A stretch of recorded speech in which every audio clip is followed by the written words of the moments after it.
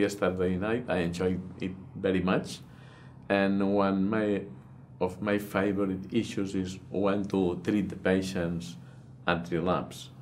Uh, usually it has been uh, at the time of clinical symptoms, so when symptoms from myeloma develop. But now there is also an agreement on treating these patients at relapse when there is a significant paraproteinemic relapse in the serum or in the urine or both.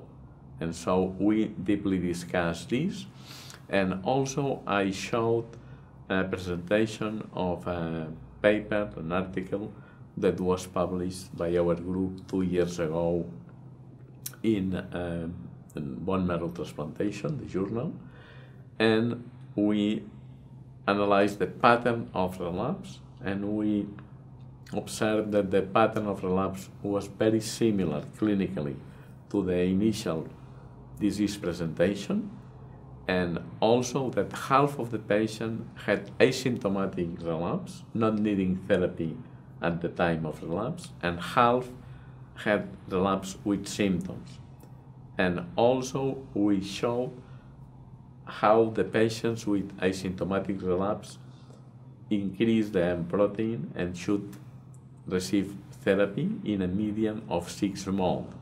And we also identified a subgroup of patients not needing therapy after relapse within the first two years from relapse after autologous transplant.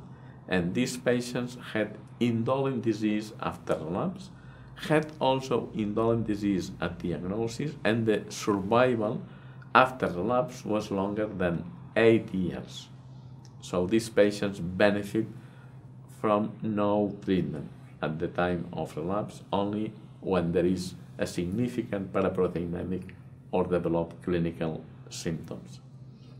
And finally, the, the, the speech was about 25 minutes or so, and I was very pleased because the, there were a lot of questions, a lot of questions, 45 minutes question until 9 o'clock, and were questions on the relapse setting, on the smoldering myeloma, and how to treat high-risk myeloma, and upfront therapy, relapse therapy. So it was a very wide uh, discussion.